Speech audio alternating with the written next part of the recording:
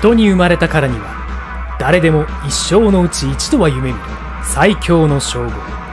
プロレスラーとは最強戦士を目指す格闘士のことである。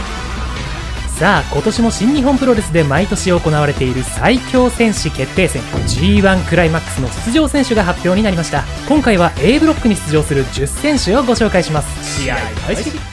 2年連続8回目の出場ハウス・オブ・トーチャーザ・東京ピンプス。高橋裕次郎。バレットクラブ内の日本人チームハウス・オブ・トーチャーに所属する高橋裕次郎選手。噛みつき攻撃などの反則で流れを断ち切り相手のペースを乱す試合巧者のヒールです。5年ぶりの出場だった昨年の G1 もブロック最下位と不遇な結果が続いているもののこれまで内藤選手岡田選手など数々の相手とドラマを作ってきました。新日本ファンは高橋裕次郎選手の勝利を待ち望んでいます。初出場バレットクラブザ・シルバーバッグタンガロア新日本タッグチームの U であるゲリラズ・オブ・デスティニーその一人であるタンガロア選手が初めて G1 でソロ出場となりました。アメフト仕込みのとても荒々しいファイトスタイルが特徴ですが彼の13年間のプロレス人生で目立ったシングル王座の実績は確認されておらず1対1での戦いも今年は2回のみとポテンシャルが謎に包まれています。今年初出場の G1 でシングルプレイヤータンガロア選手の隠された実力が明らかになるでしょう。3年連続3回目の出場。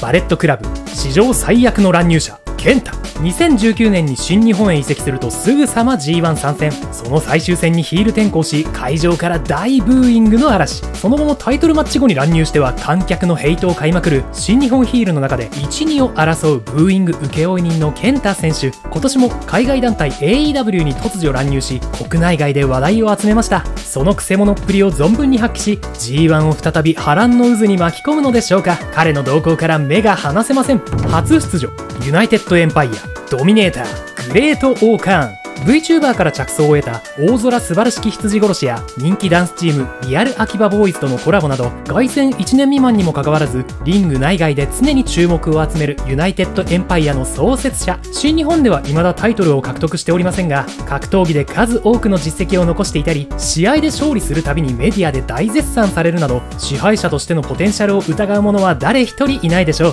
G1 の G はグレートオーカーンの G となることは間違いなしです。5年連続5回目の出場鈴木軍英国の若き匠ザック・セイバージュニア。同ユニットのタイチ選手とデンジャラステッカーズというタッグを組みテクニカルなタッグ屋としてリングに立つことが多いザック選手ですが過去には棚橋弘至選手や内藤哲也選手にシングルで勝利するなど大物食いとして数々の会場を沸かせてきたサブミッションマスターです。今回も自慢の関節技で数々の強豪からギブアップを奪うことは確実でしょう。12年連続12回目の出場。2013年2017年優勝者。ロス・インゴベルナブレス・デ・ハポン制御不能なカリスマ内藤哲也。出場選手発表時に4年前8年前の優勝者は俺つまり今年の結果はと4年ぶりの G1 覇者返り咲きを虎視眈々と狙っている内藤選手。今年は王座陥落やニュージャパンカップ1回戦負けなど悔しい結果が続いていますが同ユニットの SANADA選手とタッグを組み王座を獲得するなど再起に向けた動きが見え始めています。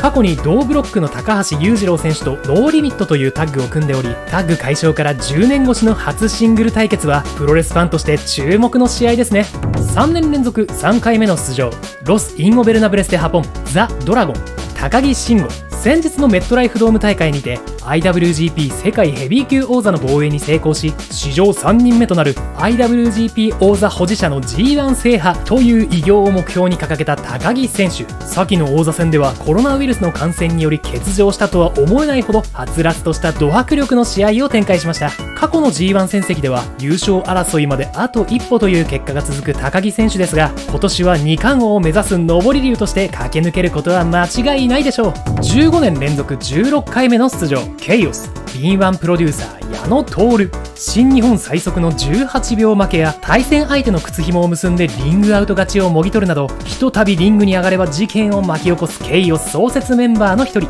コミカルな試合が多い矢野選手ですがかつては凶悪なヒールとして活動しており先日のドーム大会にてヒール時代を彷彿とさせる金髪姿で登場。荒々しい試合で KOPW2021 王座を奪還しました。今年の矢野選手は一味違う